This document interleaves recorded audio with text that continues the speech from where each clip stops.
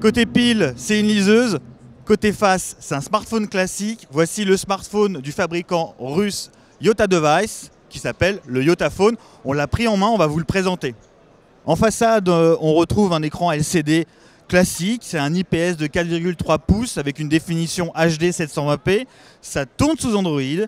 Le processeur, bah, c'est un Snapdragon double cœur S4 Pro à 1,5 GHz et 2 Go de RAM, 32 Go de stockage et une caméra de 12 mégapixels.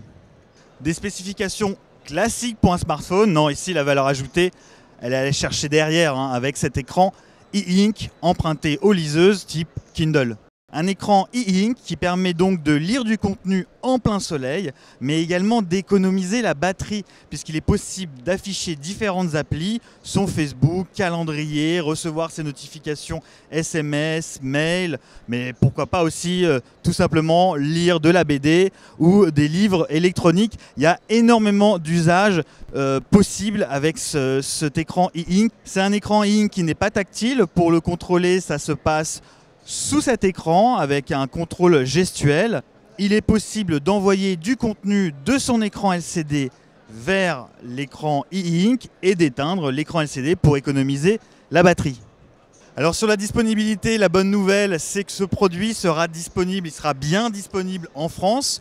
Il devrait sortir dans un premier temps en Russie, mi-2013.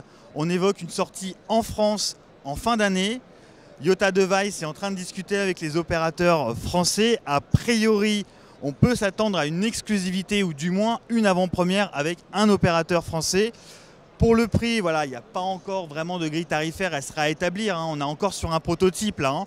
euh, mais on nous parle d'un positionnement proche d'un Galaxy S3, donc un smartphone haut de gamme. En vidéo également sur Dailymotion YouTube et en podcast iTunes.